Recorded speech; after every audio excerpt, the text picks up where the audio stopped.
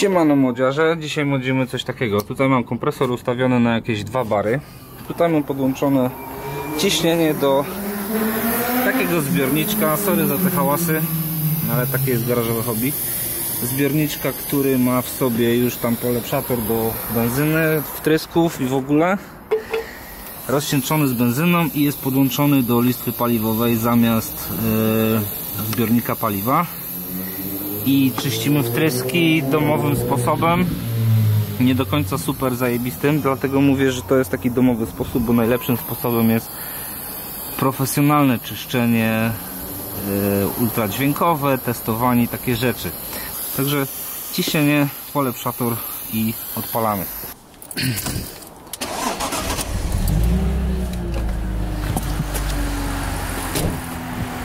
Silnik sobie chodzi normalnie na ciśnieniu kompresora. Będę musiał to ustawić ręcznie jeżeli spadnie. Podkręcimy mu aż się zużyje to całe ta cała mikstura. I zobaczymy jak to później wygląda.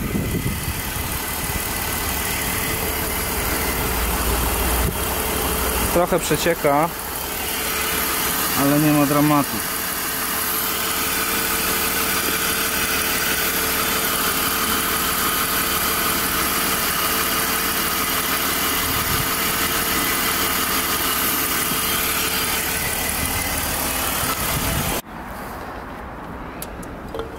Ogólnie ta ta puszka to jest ta zwana tak zwana kaczka, no nie, na olej.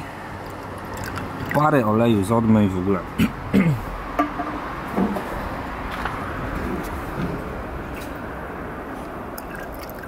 Trochę benzyny.